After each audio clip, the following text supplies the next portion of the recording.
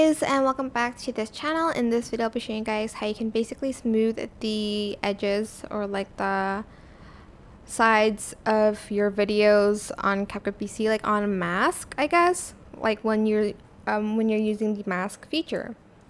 So for instance you have this and you go to mask and you add in a heart shape and you want like the sides or the edges to be a little bit smoother.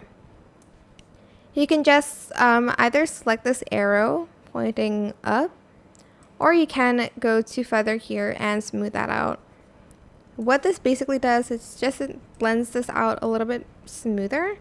So if you were to put something underneath like a color, it would like blend into the background a little bit better. My mic keeps falling. I do not know why. Um, let's like add a darker color so that you can see. As you can see, it blends in a little bit better if you feather it out.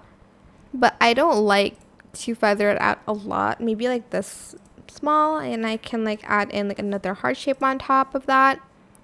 And maybe like blend it in with that as well.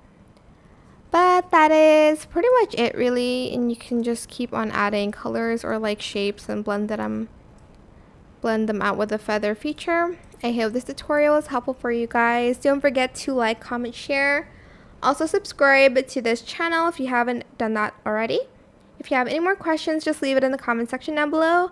I will try my best to answer them all for you guys. And if you found this video helpful, please click the thanks button above the description box down below. Thank you so much for watching. Goodbye.